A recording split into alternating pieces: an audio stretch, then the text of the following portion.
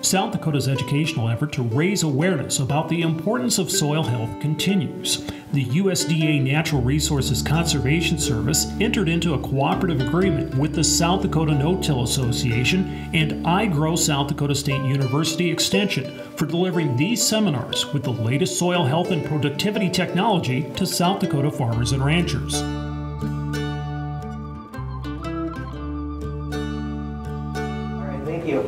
You. Uh, grew up in the northeastern corner of the state, up a little town called Crystal, about 30 miles south of Canada, 30 miles west of Minnesota. Potatoes, sugar beets, wheat, edible beans, every now and then sunflowers and canola. That's the sort of stuff uh, I grew up with. Um, a couple, about two months ago, I used to be a single parent to uh, a Gordon setter that, setter that has a pheasant problem. So if you got a pheasant problem, um, I'd love to help you. No longer a single parent, got married about two months ago. She's very happy. and uh, I like to think of myself as a, a, walleye fisherman with a soil science problem. Uh, I spend my weekends uh, chasing walleyes, guiding for Mitchell's Guide Service up on Devils Lake. So if anybody wants to trade some walleye fishing for some pheasant hunting, my contact info is right there. So I'm going to talk about managing saline soils uh, through cropping systems. Uh, so this is the state of North Dakota. There was some work done in 2010 that estimated there's roughly 5.7, 5.8 million acres of our soils are adversely affected by salinity. When we look at that, that's roughly the size of Vermont. And this is what Vermont would truly look like if we superimpose that on North Dakota. So that's, that's a big chunk of our state causing a lot of issues. That's where I spend most of my time working with farmers to manage these saline areas. So a lot of terms get thrown out. Salinity, uh, sodicity, alkalinity, what does all that stuff mean? The salinity, we're talking about the salts. Sodicity, we're talking about too much sodium in the soil. Um, usually the common farmer lingo back home is they call the salty areas the alkaline ground. Is that the same term down this way? Alkalinity is actually a term that should be used referring to pH with, with uh, soils with a pH higher than 8.5 does a lot of nasty things. Phosphorus gets tied up, uh, iron gets tied up, uh, so that sort of stuff. So when we say saline soils, we define that as having an electrical conductance, or EC, greater than 4 decisiemens per meter. Well, when the researchers test it, we do a test called the saturated paste. We take a chunk of soil, we add a little bit of water, we mix it around. Take a chunk of soil, add a little bit of water, mix it a little, little bit around, add some more water, keep mixing until it kind of looks like uh, the stuff you get from Dairy Queen, uh, soft serve ice cream. Then they, uh, they suction off the solution off of it and measure it. Well, our testing labs, that takes a lot of time to get the saturated paste going on. So what they do, they do one part soil, one part water, mix it up together. So chances are when you get that test back, from your uh, testing lab, it's that one-to-one number. To get it close to what that actual saturated paste is, we'd multiply that by two. Now that uh, publication that got uh, passed around by Anthony, there are some regression lines in there uh, based on soil texture to get you a little bit closer to what that saturated paste of your EC would be, but multiply it by two, that'll get you pretty close. Usually in soils, uh, pH is less than 8.5, SAR, that stands for sodium absorption ratio. That's the test that we use to define if the soil is sodic or not. Our soils act a lot like a magnet. They got this negative charge caused by clays and organic matter. We have calcium, magnesium, they got these plus two charges. So they help hold that soil together and it acts a lot like a magnet. That helps, gives it structure. Water can infiltrate, plant roots can grow down, it's a great thing. Now you take sodium, it has a plus one charge. But it can, because of that plus one charge, it can only attach to one side of that soil surface. So when we get too much sodium, instead of having some of that soil structure, there's this dispersion effect. And it's like rush hour traffic in Chicago. Everything's going whichever way, soils get compacted, water doesn't want to infiltrate, stuff like that. So this sodium absorption ratio test is testing that ratio of calcium magnesium, that's what holds the soil together, versus the sodium that causes that dispersion effect. Usually we see high pH soils in these areas. If you think you might have an SAR problem, um, look at the pHs. If they're over five or over eight, uh, you might want to have that test run. Then we have saline sodic soils, and it's both. It has high salts and also has uh, issues. I'm going to focus most of this talk on salinity. Just wanted to mention sodicity in case you think you might have this problem, have an idea what's going on. Uh, so this is what sodicity looks like. Uh, has this columnar structure, uh, these biscuit tops, and it's just really hard and uh, stuff doesn't want to infiltrate, but we usually don't see that at the top of the soil surface. Usually it's in our subsurface, six inches down, foot down, couple feet down. So uh, to really see if you have that issue, uh, you need to go out, take that shovel and take a look, see what that structure looks like. So with salts, it, help, it prevents that plant from taking up water. It, uh, usually in these saline areas, we see it in our wetter, lower areas of our field, so there should be adequate moisture, right? But the salt prevents that water from infiltrating into the plant. So what it really does is it's tricking that plant into thinking that a drought's going on. And when it comes to salt management, it comes down to water management. Uh, this is a research site that we had over in Carrington, center part of the state. And uh, we had one of those June rains. We got half an inch of rain or something like that in about 10 minutes. And this was all white. But after the rain, we have all these little white circles. Those are individual raindrops that hit. It dissolved the water. So these are soluble salts that we're talking about.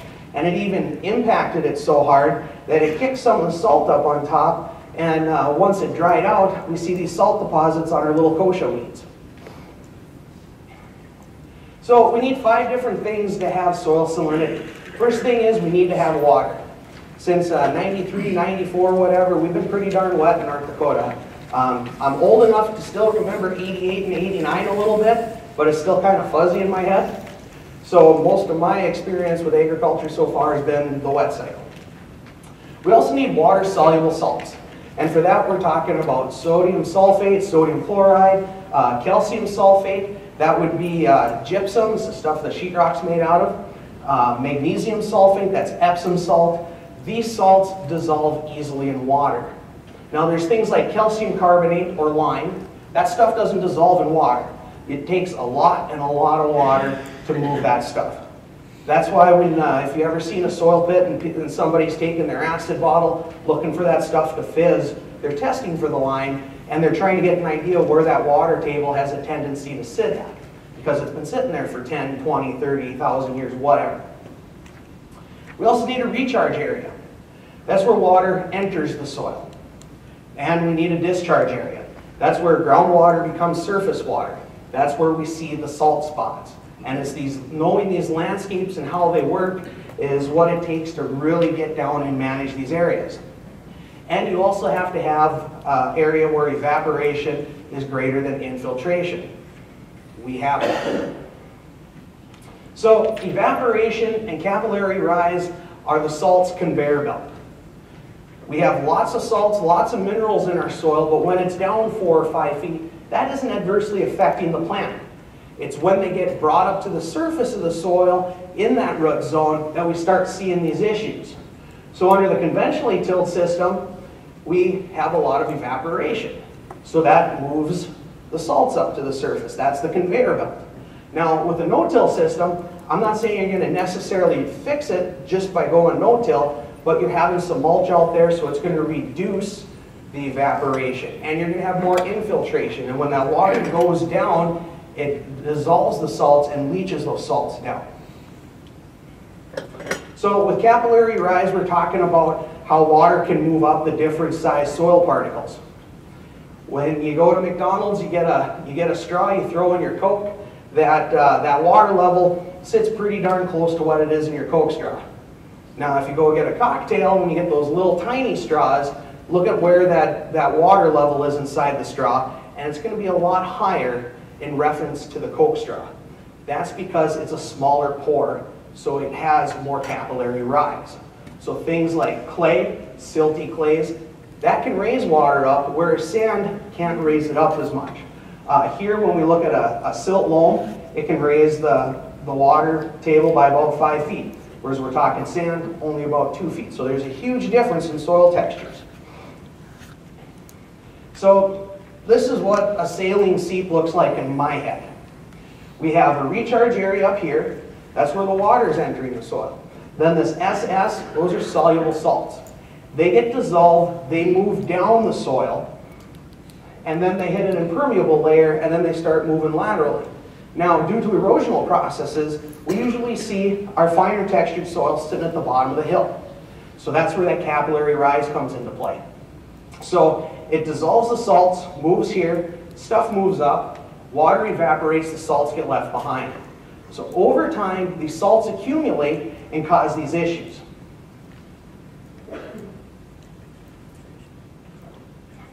Uh, typical landscape that we see in North Dakota, hilltop up here, looks all nice. Down there at the discharge area, bottom of the hill, it's all white. Nothing wants to grow up there. I grew up with red tractors, and uh, we're supposed to be unbiased with who we support, so there's my unbiased who, whatever tractor we support. Everyone after this is red. But uh, we also see ditch effect salinization in our state. Um, that's where the recharge area is the ditch. And when there's water sitting in the ditch and it isn't draining, that water moves laterally out into the field. It dissolves the salts, and then we have evaporation and discharge here. And these areas run parallel to the road. This is one of our uh, fields that I grew up farming. Got a road here. Uh, this was taken in 1997. Stuff looks okay. We fast forward to 2009 and it doesn't look okay anymore. We got these white spots and they're running pretty darn close to parallel with that road. And um, that's classic ditch effect salinization. Um, old man sends me to college for six years or whatever, get an undergrad master's degree in soil science, and he's like, kid, help me manage these areas. And I'm trying to tell him it's about water management, we need to get water down. He took that in his mind and thinks, I need to go out with a ripper. We don't own a ripper on the Augustin Seed Farm. However, we have a chisel plow, and when you put the booms up, it goes down a lot deeper, similar to a ripper. You can almost see the salt pop up right behind it because you got that evaporation going on. And the salt, there's still a lot of salt down there, and you're bringing it up to the top. Wetland salinization. We see these white grains that go around wetlands. Um, similar effect what's going on with the ditch effect, but we don't have an impermeable layer, so the water goes both ways. Uh, so this is a random wetland, um, northeast of Devil's Lake a little bit, 1990. You can see it kind of looks like a kidney. A little wet. Fast forward to 97, looks a lot wet. Now we look at it in 2009, and we have this white spot, and it almost perfectly mimics the shape of that water body. And that's because that water can go out whichever direction. Um, I'm going to switch gears a little bit and talk about salinity tolerances of different crops. That uh, uh, Dave Franzen publication, that's where I got most of this stuff. First thing to keep in mind, soybeans hate salt. Um, this is what it looks like at an EC of 0.3, looks happy. An EC of 3.9, not so happy. Uh, 8.1, 11.3, it just got jackhammered by Goldberg and was tapped out. Nobody watched WCW. uh, barley, one of the more salt tolerant type things. Doesn't look too bad when the EC 0.5. Doesn't look too bad 4.2, 8.3. Eh, we're seeing some differences. 11.6. There's definitely some differences, but something's growing out there. And this is the side-by-side -side comparison. Uh, just a touch of salt with uh, the barley and the soybeans. Uh, a lot more salt with barley and soybeans. So this is what the different crops look like based on salinity. On the x-axis, we have our different levels of EC. That's the saturated paste I was talking about. So when you get your numbers, you need to multiply them by two. On the y-axis, we have our relative yield. So we got dry beans, corn and flax are almost identical. Those don't do worth a darn. Alfalfa, um, there's some uh, alfalfa varieties that are being sold as salt tolerant. Uh, it does better than what older alfalfa varieties are, but I don't think tolerant is the right word for it. But there is some stuff, uh, genetics are improving with it. Soybeans, I already told you that soybeans hate salt. However, sunflowers aren't too bad, canola isn't too bad. I grew up in beet territory, so uh, it's nice to see the beets are working. Barley and wheat, they're some of the better selections for these areas. Uh, some of these salt-tolerant forages, when it's paper white and that EC level is through the roof, these are the sorts of things you need to be looking at. Wild rye, tall wheatgrass, Russian wild rye, AC saltlander, western wheatgrass. And when you plant that stuff, that's perennial cropping. Don't till it under, don't kill it, let the stuff grow. Something growing's using up the water, and it's better than having nothing. Even in areas where you only have kochia or you only have foxtail barley growing, it's better than having nothing growing. Now you need to do some weed control. And in some of these areas, farmers are going out and mowing that stuff down instead of going out with the cultivator or going out with some glyphosate. Some moderately tolerant forages with the ECs between 10 and 15, uh, crested wheatgrass, thick spiked wheatgrass, uh, these prairie cordgrasses and creeping foxtail. Those do pretty good on wetter sites. Uh, Canada wild rye, buffalo grass. And now we're starting to get those moderately sensitive forages and these are kind of the levels where some of those cover, if you're going to plant sunflowers or, or uh, barley as a cover crop, um, that might be a little bit cheaper than this. I, I, don't know off the top of my head, but these are some of those more salt uh, sensitive type crops. Um, if you're playing around thinking about uh, cover cropping, sometime you should Google Mandan ARS, uh, Dr. Liebig. He put this together a couple of years ago. It's the cover crop chart. Kind of set it up like the periodic table. We have grasses, we have all our different broadleaves. And when we select one of those, we get a lot more information on the characteristics of those different, uh, those different cover crops. Uh, the ones that I have circled, barley, wheat, uh, rye, triticale, canola, mustard, beets, um, shouldn't have carrots circled, uh, safflower, sunflower, those are things in salt-tolerant cover crop mixes you should consider. So let's say we click on radishes. So left click radish. This is what comes up all sorts of information. Cool season broadleaf, annual, high water use, so that's a good thing for salinity management. However, poor salinity tolerance. So uh, gives you what it, what it might uh, use for uh, a cattle feed and some other things. Um, we have the North Dakota Agricultural Weather Network in North Dakota, and there's these weather sites all across the state. Every county has at least one, and a handful of counties have three or four of them. And when you go to this website, they have this nifty little tool that you can estimate the water use. So uh, this is for uh, 2013 at the Oakes Station.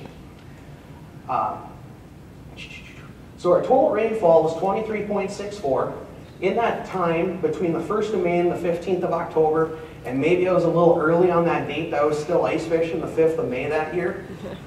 But um, we used almost 26 inches of rainfall with alfalfa. So we got a two, two inch uh, deficit. So we're drying down that soil. Now we look at sugar beets, uses a lot of water, we still have a little bit of excess. Now we start getting the corn, we're almost at four inches of excess moisture. Uh, soybeans, almost five inches. Potatoes, six and a half. Sunflowers, 7.7. Dry beans, almost nine. Wheat, nine and a quarter. Barley, almost uh, a little over 11 inches of excess rainfall. Uh, there's some work done over at the Williston Research Extension Center, so now we're in the heart of the Bakken over on the western end of the Montana border. Um, uh, Jim Staricka was looking at water use of different crops as well as fallow systems. Um, it's weird having conversations with my dad and uh, the neighbors growing up with that they used to fallow and they fallowed to conserve water. Well, they tilled today to dry down the soil. So soils magically changed 30 years ago? I don't know. But there is a short-term drying effect, but in the long run, when that soil's fallow, you're conserving water. The most efficient way to uh, manage this water is by having something growing out there. And you can see that uh, the water's about the same. Then we get to the middle of July, that crop system is really drying down the soil, whereas that fallowed system, uh, we're accumulating water. So I set up a couple different scenarios. Uh, we're looking at planting cover crops the 5th of August, or we have emergence on the 5th of August. or we have emergence on the 5th of September. And again, this is over at the Oak Station. Uh, barley, if we planted the 5th of August, and I assume the 15th of October for most of these things, because uh, we'll still see barley, uh, soy, or not but uh, barley and sugar beets, radishes, those things will stay green well into November in most areas of North Dakota. So 15th of October is the dead date, we're calling that. Uh, barley would use about eight inches, wheat a little less than eight, sunflowers about seven and a half, dry beans seven inches, soybeans almost six inches, corn a little bit less, sugar beets a little bit less. So that's the water that can be used yet in uh, that six week period or, or that eight week period. And if we look at the 5th of September now, that water use goes down quite a bit. Uh, barley use about 3 inches, wheat 2.64, uh, dry beans uh, 2.4, and so on. So what if we planted winter wheat, harvested timely, uh, usually in North Dakota that would be the end of July, so we have a week, we can we have time to go out and put some cover crops down, and we put some cover crops behind it. So that total rainfall was about 23 and a half inches. Winter wheat would use about 14 and a half inches. So we have that surplus now of nine and a quarter. Well, maybe we should plant some cover crops out there. Let's plant something salt tolerant because we have some salt issues. So let's throw some sunflowers in there. That would have used about seven and a half inches. So now we got about two inches of excess moisture versus nine and a quarter. So that isn't using up all the water, but you're in a lot better situation had you left that ground, that ground fallow. And we're getting a mix of a broadleaf and a grass. That wheat's growing all year long, and we're throwing some sunflowers in at the end of the year. So we're adding some diversity to this. Now let's say we're looking at dry beans. Now we're harvesting uh, early September. Well, we would have had about eight inches of excess moisture, and then let's throw some barley in uh, for a mix. We're six inches of excess moisture, but that's still about three inches better than what you would have done. So managing these saline seeps, it comes down to knowing the landscape.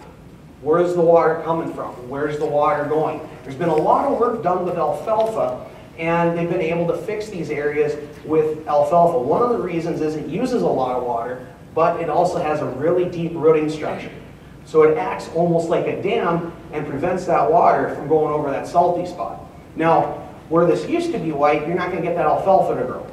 So in that white spot, that's where you want to you, you want to plant those those salt tolerant cover crop mixes or maybe you want to have um, some of those, those uh, highly tolerant forages, the, the western wheatgrass, the AC saltlander, those sorts of things. And there's my red tractor again. Uh, and the same thing we see with the ditch effect. Uh, we need to intercept the water and prevent that lateral movement out into the field. Because if we don't prevent that lateral movement of water, that's going to keep going out and I'm going to lose uh, a row of sunflowers every year out there. And the same thing uh, with that wetland uh, salinization management. It's trying to contain it so it doesn't spread. So I got some farmers now that are starting to look at, look at doing this, and some of them are practicing it, where they're cropping most of the field like they normally would. However, when they're in these salty areas, they're starting to plant buffer strips of alfalfa or maybe just cover crops. But in these really high saline areas, that's where they're putting in the AC saltlanders, or if it's low enough, they're planting some of those salt-tolerant cover crop mixes, something with some uh, sunflowers, some sugar beets, some barley, something like that. So this is some stuff over at the Carrington Research Extension Center. Uh, I was there for four years before moving out to Minot. And this is one of our research sites. The thing that we have going on here is we aren't just dealing with, with uh, a saline seep, we're also dealing with the ditch effect. So this is a two-headed monster that we're managing. That salt is pretty much parallel with the road, so we know it's ditch effect salinization, and this is up a little bit higher than down there. So ideally to manage this, where it's good, that's where you want to put your regular crop rotation. Where it's not so good, that's where you want to start planting those salt-tolerant things, uh, maybe some alfalfa, something to dry down the water, because if we don't contain it and manage it now, it's only going to get worse next year. So I want to point out there's this tree here. So this is looking down to the, the southeast. So there's that tree right there. So when we first started managing this in 2009, the EC levels were 22, 21, something like that. It was almost paper white. Um, there's not even kochia or foxtail barley growing out there. So that stuff is pretty nasty. Now, we fast forward to 2012, and there's that tree again, and we got some stuff growing. So we're doing some reclaiming. We're moving that ground back in the right direction. Now this is just foxtail barley in this picture, but there was nothing growing there before, so I know that we've improved it. And with uh, measuring the soil salinity, when right here was 22, now it's down to like a 13. Still aren't going to really get anything on a cash crop, but we're improving the land. So, like I said before, we got a recharge area here. Our ditches are a recharge area. White spot, that's where the discharge area is. And this is what um, our stuff looked like. We're evaluating the salinity tolerances of different cover crop mixes, different alfalfas, things like that. And what's going on is we're managing that recharge area so it doesn't discharge. And if we were to also try to manage that ditch effect salinization, we'd move it uh, in a better direction faster yet. So we're only tackling one of the, one of the monsters, not both of them. Um, just wanted to mention tile quick. It does work. It's very expensive. I try to work with farmers to do their cropping management first, and this is a last resort. There's a lot of issues that goes with it with water quality and whatever else, but it does work. Uh, this is some work done by AgVise, their soil testing lab in North Dakota. Uh, on our x-axis, we have different GPS locations. On our y-axis, we have different salts. Now, this is in millimoles. That's a one-to-one, -one, so we need to multiply that by two, actually. Uh, the red is 2002, and they definitely had some salinity issues. 2006, a little bit better. 2011, it's, it moved in a pretty good direction. But that's in nine years, about a thousand bucks an acre. Those cover crops, a lot cheaper, and we've moved it in a better direction, uh, a lot greater. So we went from a 22 down to about a 13 in the worst areas in like four or five years. This is nine years to only move it uh, that much. And also too, if you put tile in, the salt isn't going to magically disappear. You need, you need snowfall, you need rain, you need those leaching events to take the salt out. So in summary, salinity is caused by excessive water that brings salts into the root zone. Salinity management is water management. Salts move up with the water, they move down with the water. As we dry down the soils, those salts will move down with it. We need to think about the landscapes. We see those white spots in the lower areas of our field, and that's where the grain monitor goes down to nothing, and that's what annoys us. But the problem's coming from someplace else, and we need to find the source of it in order to fix the symptoms. Tillage and crops manage water. However, evaporation can make your soils more prone to salinization, erosion, and you're going to lose organic matter. Crops utilize more water than tillage and have greater benefits to the soil. Um, when you're doing these salinity uh, management things and you keep on top of that salinity, when that number starts coming back up, don't plant soybeans there, plant wheat, plant something more salt tolerant in those areas. With that, uh, are there any questions? Is EC something that you can get on your soil samples from like AgVise or somebody like that? Yeah, it's, uh, it's just another box to check for the most part. What was the question again? The question was, is EC something that's easily soil tested? And uh, every soil test form to fill out that I've seen has had EC on it. I'd be surprised if a soil testing lab didn't offer that. Yes, sir. If you were going to get that blocking effect from the alfalfa, how many years into alfalfa Okay, the question was if you're going to get that blocking effect with the alfalfa, how many years to fix it? Am I right? Okay, um, so that stuff that we did, uh, that was in a matter of four years. We took it from a 22 or a 21 down to like a 13 in the worst. And we reclaimed an area that was nine acres of really bad soil down to about four now. And that's a couple years old. It's gotten better yet. I, um, I'm not in Carrington anymore, so I don't have the most up-to-date data. Um, there's a bunch of work done in the late 70s with alfalfa and salinity management. Um, They were fixing these areas in five to seven years. But it also depends upon what the water, is, how much rainfall you get, all those sorts of factors. Alfalfa uses a lot of water, but it's also one of the easiest things to drown out, so it's kind of a catch-22 there, but it's the king water user. How do you know where the problem from? How do you know where those problem areas are coming from? Um, a lot of it is just gut instinct when you're sitting down at the field looking where the high ground is. Is that water, chances are it's coming towards you. That's, that's how I've gone about doing it, and um, I'm, I'm sure I haven't been right all the time, but um, that, that's where I look at it. Now, if you're talking like that ditch effect, when you see that white spot running perfectly parallel with the road, no question is that coming from the ditch. Now, when we're talking those seeps, uh, it's a matter of where do you think the water's coming from, you know? And, and it isn't like you just have one straight hill going that way, you know, you got a whole three-dimensional landscape. And so, you know, it can't be just one strip that way, it's gotta, you know, encompass the whole area from where that water could be coming from.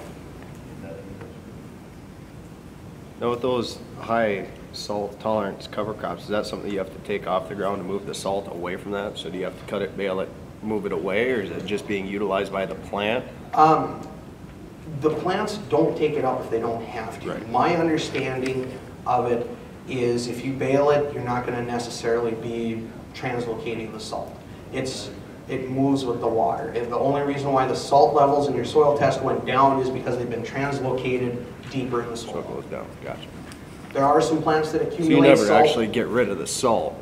It No, just it's, goes deeper? it's still there, but it's not adversely affecting your soils. And that's why you need to stay on top of those soil tests. When those numbers start coming up again, you gotta, okay, we need to start planting, we need to go back to being on top of it.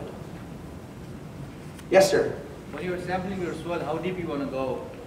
When you're sampling your soil, how deep do you wanna go? Yep. Um, Usually, most of the stuff, uh, it's just zero to six. That's the stuff we're worried about. Now, um, if you're fighting the salt, a six to twenty-four, seeing where that salt is, uh, is a good indicator to see are you making progress.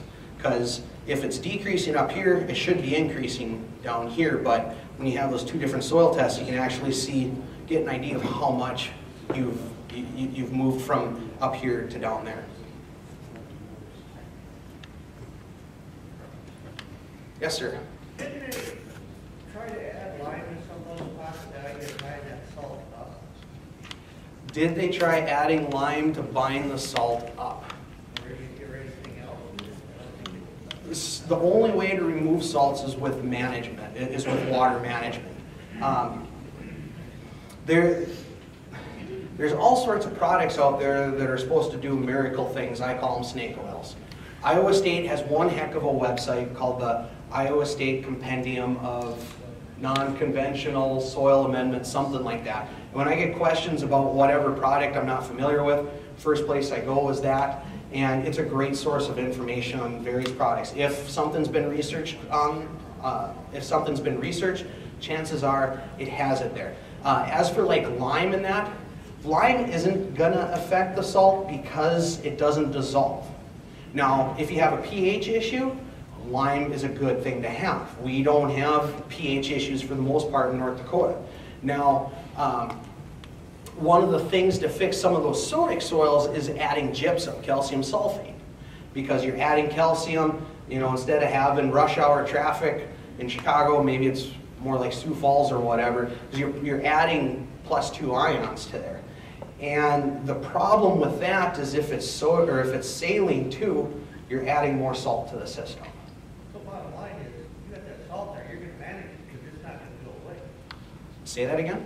Bottom line is, if you face that salt issue, you're gonna have to manage it, because it's not going away. It, it's not going away. It, it, you need to stay on top of that water management to move those salts down, Unless you're gonna open a salt line. unless you're gonna open up a salt mine. Yes, sir. Is it a valid approach to put in tile lines to drain it down out? Is it a valid approach to install tile line to manage it? A lot of that's been done in North Dakota, and that, that data I showed you is one of the success stories of it. It works. There's, uh, right now, it runs about a thousand bucks an acre. in, in in the Red River Valley. Um, So it's expensive, but uh, it does work, and there are other issues that goes with it, environmental, all that sort of stuff. I'm not here to talk about that, but it does work. Yes, sir.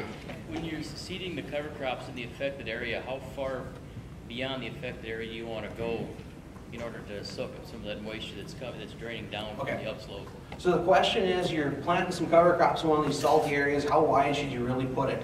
Um, The stuff that I've been reading, um, and it's highlighted in that, that publication, about 40, 50 feet, something like that. So, excuse me? You should, you should be able to, yeah, and, and, and like, so, you, you plant the cover crops in what you think's the bad area, you go in with some corn, you got some really bad looking corn. Um, Look at where that is and maybe, uh, uh, kill that off and plant some cover crops in an area like that. You know, it, it, it does vary from situation to situation. If you wanna get on top of it as fast as you absolutely can, plant the whole field to alfalfa. But do you have dairy, do you have this, do you, do you have a market for the alfalfa versus uh, a soybean market? So those are some of the considerations you have to take into account. Thank you, guys. Yeah, thank you.